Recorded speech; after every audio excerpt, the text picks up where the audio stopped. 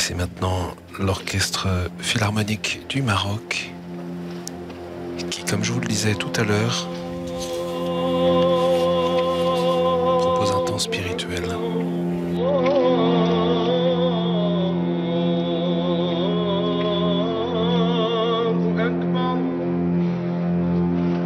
أشهد أن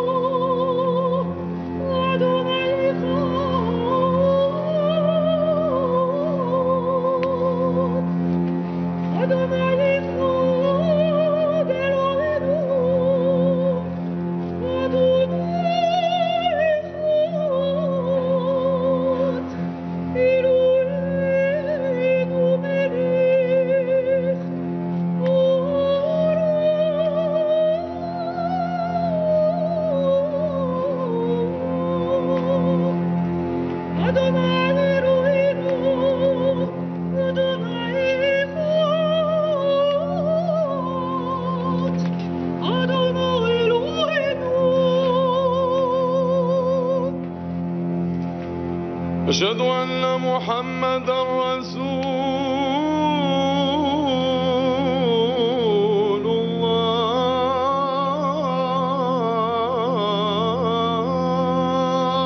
الله. أشهد أن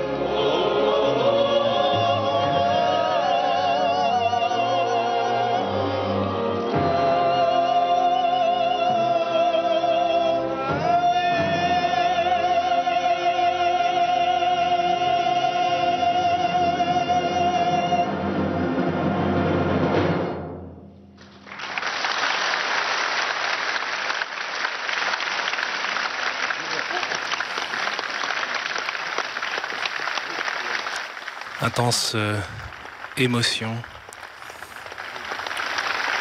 offerte par euh, l'orchestre philharmonique euh, du Maroc qui interprète euh, cette œuvre d'un compositeur libanais sur le thème des religions à l'unisson. La musique qui permet de eh bien, de mêler intensément et magnifiquement les professions de foi des juifs, des chrétiens et des musulmans. Elles sont à la fois distinctes et belles ensemble. Et peut-être que la musique dit quelque chose de ce à quoi peut conduire la culture de la rencontre souhaitée par euh, le pape François, ici au Maroc et dans les pays où il est passé. Voilà, les étudiants qui ont témoigné viennent saluer le pape François et le roi Mohamed VI, commandeur des croyants, de tous les croyants, aime-t-on rappeler, au Maroc.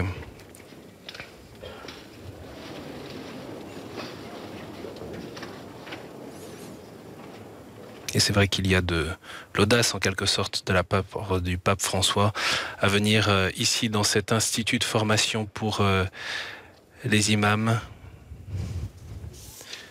cet institut euh, Mohamed VI à Rabat, se place en cœur de la euh, formation théologique, spirituelle et humaine des imams, des morchidines et des morchidates le chef d'orchestre qui vient saluer aussi le Saint-Père et Sa Majesté le Roi.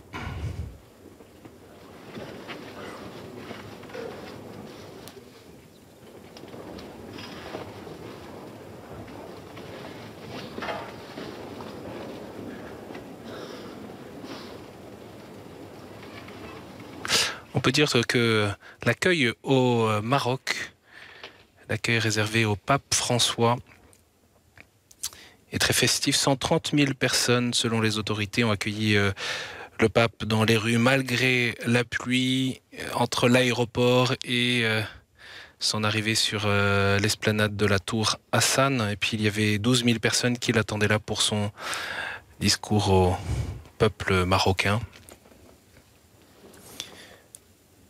Étape importante à la fois pour le Maroc, mais aussi pour euh, l'Église catholique dans ce chemin de dialogue, dans ce chemin de rencontre, dans la continuité aussi de cette euh, déclaration historique d'Abu Dhabi sur euh, la fraternité humaine pour la paix dans le monde.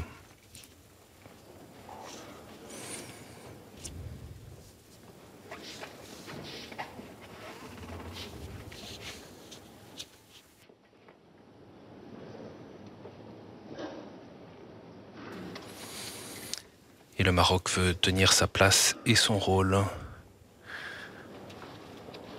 pour consolider un islam modéré. On entendait tout à l'heure le ministre des Abous évoquer euh, l'importance euh,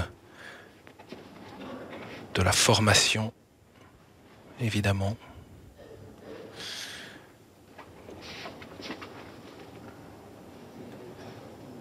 Sait que le roi, depuis euh, notamment les attentats de Casablanca, euh, s'est engagé et encourage son pays à s'engager contre le fondamentalisme.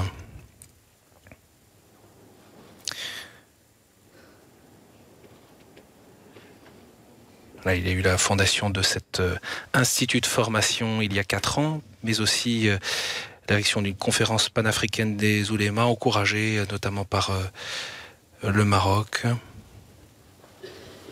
Les oulémas sont ceux notamment qui disent le droit. L'érection de cette conférence panafricaine des oulémas a son siège à Fès.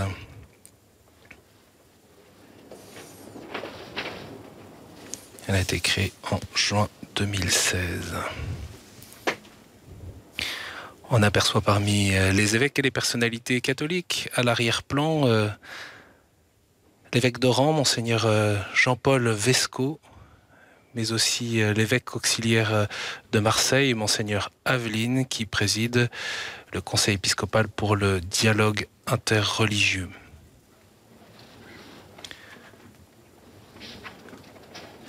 Voilà l'échange de cadeaux dans cet hémicycle de cet institut de formation. On peut indiquer aussi que dans cet hémicycle sont présents des euh, étudiants de l'Institut écuménique de théologie qui ont été invités à se joindre à cette euh, rencontre.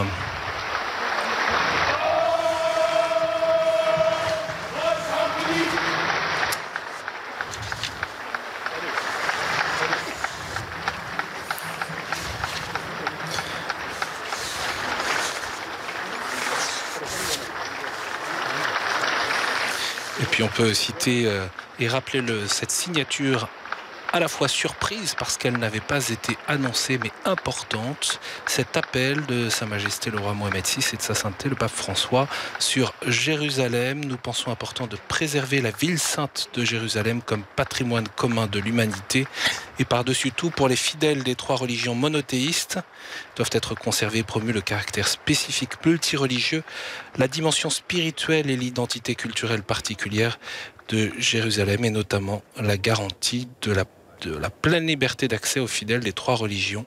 Et le droit chacune d'y exercer son propre culte de sorte que dès Jérusalem, de la part des fidèles, eh bien, s'élève la prière à Dieu, créateur de tous, pour un avenir de paix et de fraternité sur la terre. Voilà cet appel important qui a été signé tout à l'heure au Palais Royal. Nous nous retrouvons euh, dans un instant.